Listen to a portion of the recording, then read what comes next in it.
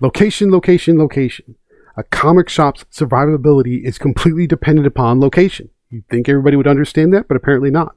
Today we have an example of another comic shop deciding not to carry new weekly comics from the big two. It has everything to do with their location. Today we're going to talk about why that's the case and what the big two needs to watch out for because if they don't get their act together, you're going to see more of the same and it's going to be big trouble for the big two. Let's talk about it. See you in three. Welcome back to Comical Opinions. Today we're going to talk about location and its impact on the comic shops, the direct market, and how that's sort of negatively impacting what's going on with the big two. The example we have today is a post that I saw on Facebook. We're just going to freeform it a little bit. This is from Panther Comics. They're based in Washington Township, New Jersey. And here's the post that they put out that really caught my attention. I decided to spread it around because I wanted to get some reactions and figure out what people think about it. Here's the quote We will no longer carry new weekly comics. Unfortunately, I do not feel they work for my business model any longer. I'm a lifelong reader and have been debating this decision for the majority of this year. Instead, I'll be focusing on pressing and cleaning comics as well as buying comic and video game collections. I appreciate your business and encourage you to keep reading weekly like me. Okay, so that's the full quote from Panther Comics, Washington Township, New Jersey. And here's the sort of nuts and bolts of it. First of all, let's talk about why this is happening and how that it relates to just the basic fundamentals of business.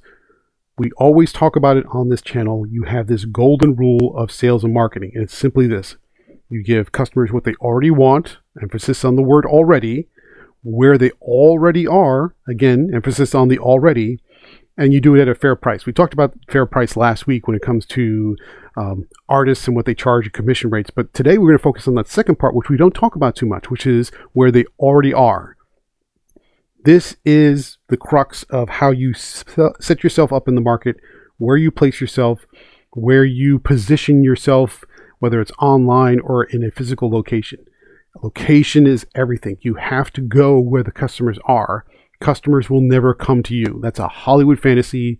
The, you build it and they will come. Never works out. That is Hollywood hogwash. It's a fantasy. Never works. But in this case, we're talking about location. So a comic shop sets up shop somewhere on a main street, on a corner, in a shopping mall, wherever the case may be. They are beholden to the regional population as to what comics buy and sell.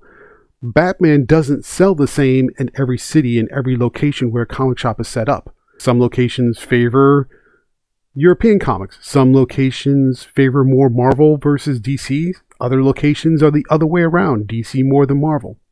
But it all has to do with who is in the surrounding area, what are their tastes, what do they like, what are the factors that affect their buying and purchasing power, and how that affects the local shop. So, for example, here's some of just some of the things that you need to think about when you're setting up a comic shop and, and that it would affect you. Strange as may sound, you, it, a lot of people don't think about this, but geography makes a big deal. If you're out in Montana somewhere where you're surrounded by mountains and it takes you 50 minutes to drive just to get a jug of milk, that's going to play a big difference into whether or not you're going to get a lot of people coming into your shop because they have to really want it. Because there is a friction point, if you will, where people have to overcome any kind of inconvenience of getting to your shop. They have to love comics more than they love driving, as an example, or, or, or more than the comfort of staying home is probably the better way to say it. Geography makes a big deal. Weather makes a big deal. If you are in the northern states or if you're in Canada or whatever else, you know, during those winter months, that snow and that ice and that bad weather really plays a factor. So if you're uh, depending on people to come in every single week, maybe that's not always possible. So you have to gear your store for the physicality of where it's located, what the population will and will not tolerate based upon the factors that affect their daily lives, and that plays a big deal. Now, you have the third factor, which isn't the physical tangibles, but it's the one that probably plays the most uh, of a factor into the location, which is culture. People who are living in San Francisco, as an example, are very different than people who live in Brooklyn. That's a very different set of vibes and personalities and cultural norms that we think, oh, we're just all American. No, no, no, no. it doesn't work that, that way. If you've ever been into rap music, the East Coast versus West Coast rivalry has been a thing for a very long time. If you are um, into country music, you know, you're not going to find a lot of country music lovers in the middle of uh, Staten Island, for example. You're not going to find a lot of mellow beach kind of music folks in the middle of Montana. You're not going to find a lot of people who like Texarkana kind of uh, music in, say, for example, Vermont. Culture makes a difference. The locations have their own cultures. And we like to think that we're all Americans, we're all the same. We're not. That is, again, another Hollywood fallacy. People in different regions, they have their own cultures, they have their own personalities, they have their own vibes. So the natural result of that is when you go to a comic shop and you find out what they carry on the shelves, what the local people tend to buy is very much guided by that culture. That's why you have a lot of people, for example, who are in Portland, Oregon, will buy a lot of Tom King stuff. They'll buy a lot of Ram V stuff. They'll buy a lot of stuff from writers, particularly who writers who come from that area, because for right, wrong, or different, there are a lot of modern comic writers that whose names you recognize that are from that sort of Portland area in my opinion, not such a great thing, but okay. You have regional tastes, local tastes, and the comic shop has to cater to those local tastes. Why that makes a difference is if you have a lot of big two writers, let's just pick on Marvel as an example. If you have a lot of big two writers who are all from a particular region, and let's pick on Portland again, and they all write to appeal to that Portland market because that's who their friends are, that's what their local culture is like, that's how they find storytelling tastes to evolve. Well, if you take that brand and that culture and you infuse it into the comics and then you try to sell it to somebody who lives in Miami, they're not going to, it's not to say they won't get it, it's just to say it won't appeal to them. And so you have comic shops that are in Miami they're trying to sell comics that are really written with a sort of a Portland esque type of vibe and tone and a personality and a mindset because the writers who wrote them are, I would say, incapable or unwilling to separate their culture from the characters and the story that they're trying to write.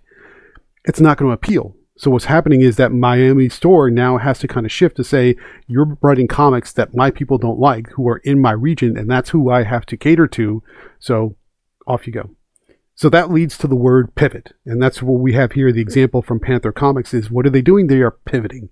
Now you hear that word a lot, but what does that really mean? It means that they have a business model where maybe they sell 80% new comics, 10% back issues, and another 10% are tchotchkes, things like Funko Pops and gadgets and pins what have you. That works fine or has worked fine for a while when the big two kind of played on universal themes when they were appealing to a more uh, global or universal human condition. But when those writers and those editors start, I would say, segmenting themselves into a more local culture based upon where those creators are coming from instead of focusing on broader themes, now you're writing comics that don't appeal to the local markets in which those comic shops are based, and they have to pivot because those big two comics aren't selling the way they used to that's kind of where culture really infuses into the comic and it becomes i would say an, i won't say an unsellable product but it becomes less sellable to a broader market. In some cases that works fine. So if you have like this portland market and these portland types of creators and they're creating comics that really appeal to a portland crowd that's going to be fine for other markets that are very similar to portland which kind of keeps them above board, and that's okay. But then you, when you take that to other regions that are very much not in line with that sort of Portland type of mentality, it's not going to work. And those comics are going to start reducing in sales. They're just going to turn readers off in those localities, and the local comic shop has to do away with it. When you are a direct market, when you're a local comic shop owner, the tastes of your surrounding area matter the most above anything else you can't just take big two comics and just sell them. That doesn't work. you have to sell what the people want. So when we talk about the golden rule, the second part is where they already are. Well, when you're a physical comic shop, you're sort of stuck. You can't move around. So you have to sell what the local people want. And if the local people don't want what the big two are selling, then you're going to run into some trouble. I mean, it's just natural, normal, You just got to think about that. This example here that we have from Panther Comics is pretty much, you know, I, would say I won't say a common thing, but it, it's something that I'm seeing more and more comic shops talking about. Where they don't carry new stuff, or they only carry new stuff if somebody puts it on their pull list and they already have a subscription or or something to that effect. They just won't stock up shelves with new big two comics because they know their local market won't buy it because the Marvel and DC editorial teams with their creators have essentially niched themselves into a place where they're writing comics that only appeal to a very small locality and form of culture based upon where the creators are coming from. And that's not a good thing. Now, you're going to see more of this. How is this going to play out? How is this going to play out in the future? You're going to see an increase, I believe. You're going to see an increase in the number of local comic shops that just say no mas. I'm not going to carry any more stuff from the big two, or if I carry big stuff from the big two, it's only because somebody wants it on their pull list and I ordered just what they want. And that's it. I'm not going to stock the shelves. I'm not going to carry excesses. I'm not going to buy into big events. I'm not going to pre plan for uh, extras or anything like that. If somebody wants to order it, I'll order it for them, but that's it you're going to see an increase, I believe, an increase in that number of number of posts like this one where you have somebody saying, "I'm just not going to carry it anymore." I mean, that's you can't continue to stock stuff that people in your area don't want. What is the natural outcome of that scenario? If that increases, and I think it might even accelerate, what it's going to do is it's going to dwindle the major distribution channel for the big two. The big two, Marvel and DC, for physical comics are highly dependent on the direct market. That is their number one source of distribution. So when the direct market dwindles as far as their willingness to carry big two stuff, that's going to have a direct impact on their bottom line. That's going to force the big two then to pivot. Now, how they pivot, who knows? If they don't pivot and they just let nature take its course, they're going to wind up losing sales and that's going to spell big trouble eventually. You're going to reach a breaking point. It has to happen. The other way you're going to have to pivot if they want to maintain their cash flow and their revenue is they have to pivot into other forms of distribution. That means getting back into the Walmarts or the uh, grocery stores or wherever they wind up going. If the direct market, which is your one channel, is going to diminish, you have to compensate with another distribution channel. I don't know what's going to be, but if they don't do something, they're just going to atrophy, and that's just that's the way it is. There we are. We have a comic shop. They're telling a very familiar story, and I think an increasingly familiar story that they're just not going to carry Big Two anymore because the Big Two doesn't sell for where they're located. That's not a fallacy. That is not, uh, well, dude, you're just selling it wrong. That is a nonsense statement. I've seen a couple people react that way, like, you just have to sell better. You can't sell what people don't want in your area. And there's a reason why people don't want what you want in that area because you, are creating comics that don't appeal to local tastes and local cultures. That is very much how that this works. The big two are going to create increasingly niche style storytelling. They have to be prepared for an increasingly niche sized market, and that's going to spell trouble for their bottom line, and it's on them to do something about it. But you know what? That's my opinion. It's an op ed. Leave a comment below. Tell me what you think. I want to know your opinion about your comic. You know what? This is what I want. Tell me about your comic shop.